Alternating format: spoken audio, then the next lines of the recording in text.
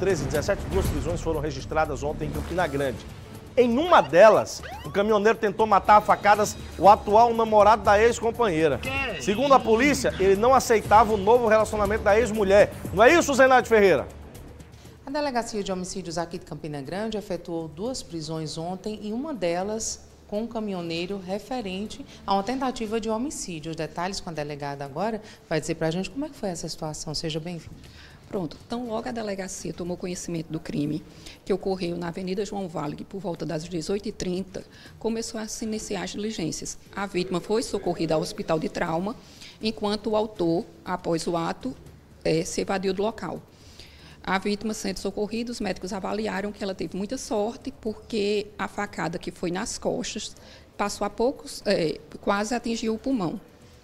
Então, como eu disse, com o apoio da Unitepol, PRF o CICC, nós começamos a efetuar várias diligências em busca do criminoso, que é um, um motorista de caminhão, por isso o acionamento da PRF.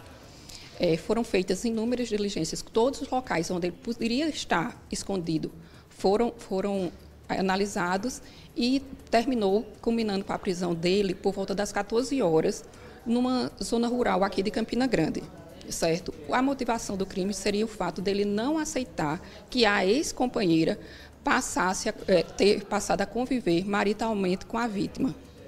É, o, o autor ainda teria dito à companheira que ela parasse de mandar a polícia atrás dele, porque ele estava esperando das 24 horas do flagrante para poder se entregar. Ou seja, todo planejado arquitetado, né, doutor? É, segundo a vítima e a, a ex-companheira, a todo momento ele, é, é, eles viviam sob ameaça, porque o autor dizia que quando os encontrasse, iria matá-los. E foi dito ainda pelo autor, após a ação, ó, oh, vai lá ver teu macho que eu furei, furei ele.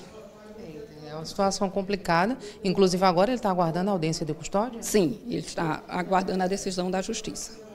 Delegada teve outra ação também, que foi um cumprimento de mandado de prisão contra uma mulher por tráfico de drogas. Né? Pronto, essa prisão se deu ali nas imediações do motel Saara e ela foi é, presa em virtude de sentença condenatória.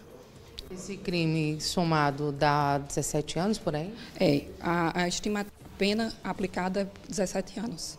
Também aguardando audiência? Também aguardando audiência de custódia. Tá, ok. Muito obrigada, viu, delegada? Parabéns pelas prisões. Zenaide Ferreira, para o Correio Verdade.